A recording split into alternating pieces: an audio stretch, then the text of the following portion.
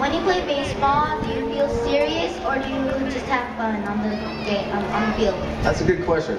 I think it differs a lot of times. I think uh, when guys put a lot of pressure on themselves to, to get results and to really come through, uh, they get a little bit too serious. Um, for me personally, I, I'm, I'm functioning a lot better when I'm more relaxed.